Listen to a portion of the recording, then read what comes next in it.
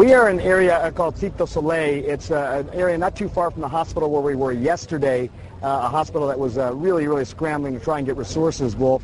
Uh, we were really pleased to hear that they put up these tents not too far away from that hospital, these white hospital tents being able to perform medical procedures, surgical procedures. Uh, what we just heard, though, Wolf, and this is of concern obviously to a lot of people here, is that the doctors, the nurses, the healthcare professionals are being told uh, to pack up their, their, all their medical supplies and try and get to a secure location. They're being told this by the United Nations. There's concern about riots not too far from here, and this is part of the problem for them, is that they are, want to take care of uh, lots of patients that are actually in the tents and many more patients actually outside, uh, but they simply are being told at this point to stop and to try and get to some sort of secure location, Wolf. What's going to happen with all those patients, all those people who are in such desperate need of medical attention? We've been asking the same question. Uh, most immediate are the patients that are that are waiting. You may see some of the patients uh, even over my shoulder here, Wolf, uh, including a little baby boy over there. Uh, they are watching as uh, the, the healthcare team start packing up their goods. I don't know. Uh, this is the same situation that we ran into yesterday. Lots of patients waiting for care and hardly anybody to provide any care or any resources for them.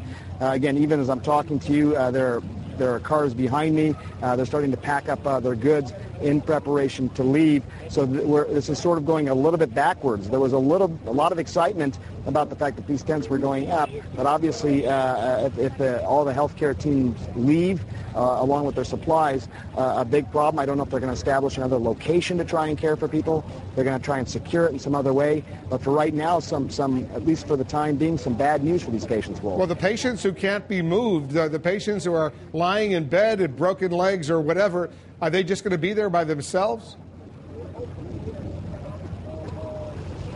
Well, I, I don't know. I, I, don't, and I don't think they know right now exactly how they're going to handle the situation. I think that they're literally talking to each other, trying to figure out exactly how this is going to work. Uh, they're told that some folks uh, from the United Nations are going to come down here. I don't know if they're simply going to escort these uh, doctors and nurses out of this area to a more secure location, or if they're also going to try and set up a little bit of a, a force here in this particular area to try and take care of these patients. I think it's just unclear. I think everyone is sort of uh, deciding and discussing, even as we speak right now, Wolf. Oh, so, in other words, there's some ominous indications that people are uh, getting ready to get violent. Is that what I'm hearing from, from you, Sanjay?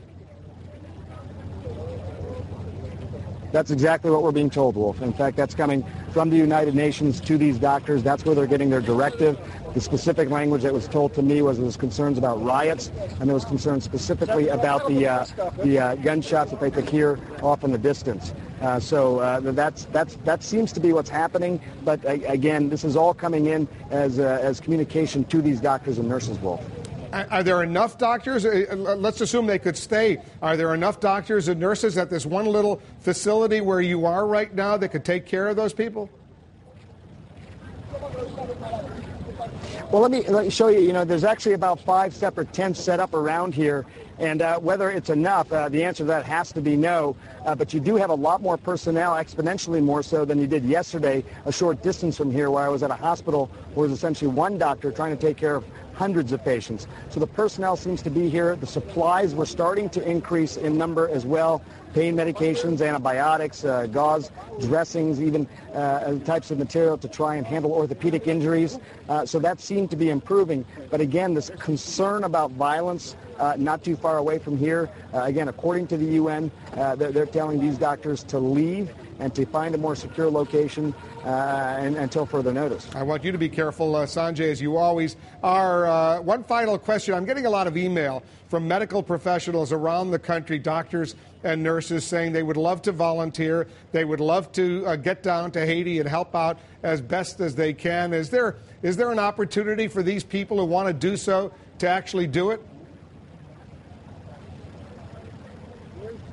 I, I think there's a real need uh, for, for, all, for all kinds of medical uh, help, uh, whether it be personnel or supplies there is difficulty uh, that I know of actually getting, even if you make it into the airport, actually getting to some of these devastated locations, getting to hospitals that could use help as well. Uh, the coordination has not been great as far as getting people actually to these to these areas. So uh, while they, it, it's great, I think people helping, it's going to be a little bit frustrating, I think, at least for the next couple of days until a more coordinated plan is in effect.